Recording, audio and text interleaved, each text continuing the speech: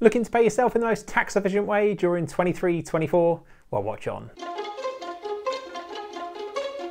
As a business accountant, my team and I spend all day long helping business owners on their journey, and one massive piece of that is helping them understand how best to take money from their limited company. So in this video, I'm going to presume, as always, that you're a small business owner. You're most likely, or should be, in the case of what I'm going to talk about, the owner of the limited company, so the shareholder, and that you're the director as well. So you kind of run it and it's your thing. Now, before we get into it, if you like these type of videos, make sure to click the subscribe button and the bell below so you get notified whenever we release more videos just like this one. So then I'm not going to do some massively detailed spreadsheet. They're just going to trust me that this works out. Um, but I'm going to give you the highlights of a couple of key levels of salary that are going to be really important this year. Now, we're releasing this probably in around November 23, so this is relevant for the 23 slash 24 tax year. So, a bit of a recap in that your limited company may have a different year end to the personal tax year, but you as a director, when you're taking your money either in salary or in dividend as some of the profits, you're going to get taxed based on your personal tax year, which is from the 6th of April one year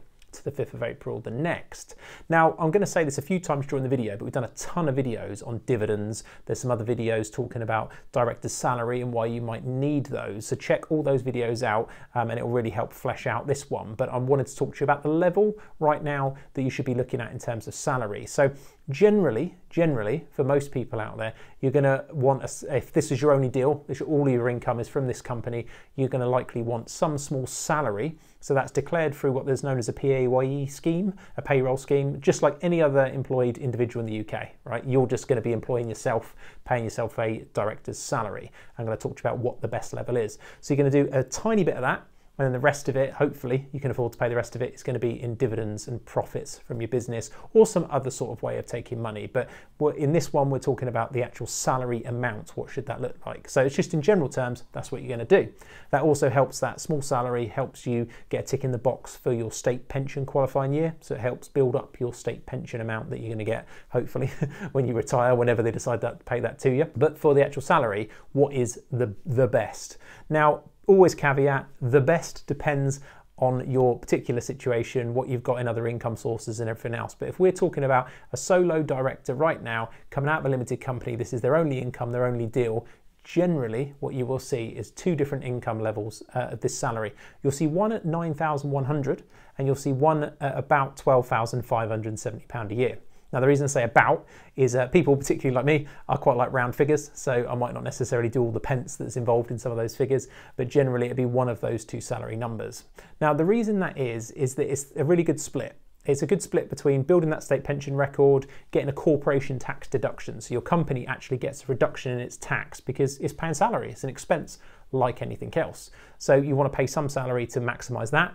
It's also a balance of using your personal allowance. So right now at the time recording, most people with, in the UK, UK taxpayers will get £12,570 tax free uh, in a year. So uh, surprise, surprise, one of those salary levels is at that amount. So you're trying to get a balance between maximizing that and getting a tax deduction in the company. And again, without the spreadsheet, normally um, a bit of this kind of smaller salary and then the rest in dividends for a lot of people is going to be a really good way of drawing that money out quite tax efficiently because the dividends don't have any national insurance associated with them. They have a different type of income tax, which is lower than that. So, uh, but again, loads of videos on that one.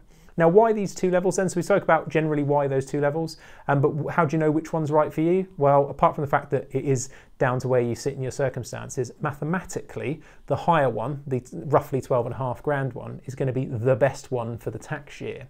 However, it comes with a slight downside, and for that uh, reason, you're probably going to want to pay yourself quite often the smaller one. And that's that uh, the top level, you will pay some employer's national insurance. So the business has to pay national insurance on your wages. It's one of the reasons why you don't often pay all of your wages through the business. Because I said to you, the uh, company will get a tax deduction on your salary. So the instant thought will be, well, why don't you just pay it all in salary then?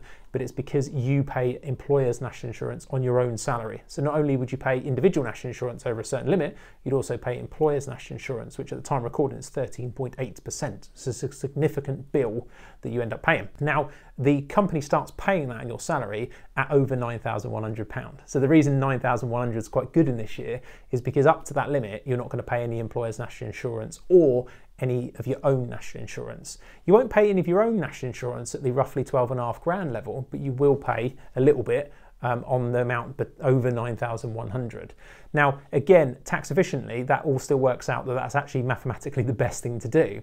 But a lot of owners just can't be bothered with making those small payments, remembering to pay them, having to declare it through. I mean, you have to declare the lot through payroll anyway, but there's this extra thing to make sure that you pay and do, and people just can't be bothered a lot of the time because it is really a tiny, tiny amount. So if that's you and you think, I just want hassleless, hassle free, the lower level is likely to be the one, even though it's slightly less efficient. So, for example, if you took about 40k from your company out in the efficient salary and dividend levels, you might pay an overall tax rate of about 18, 19%.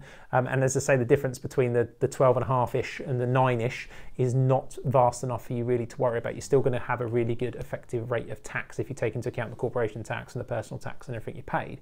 18, 19% seems pretty reasonable to me. So there you go. There's the two best salary options that you have this year, but it is really, really dependent on your situation. So if you've got other income, you can probably throw this out the window. um, so do get it checked out with a professional if you want to know exactly what's best for you. But generically, these are often the levels that people set themselves. Please do leave any thoughts and comments below and I'll get back to you. And of course, subscribe and I'll see you in the next one.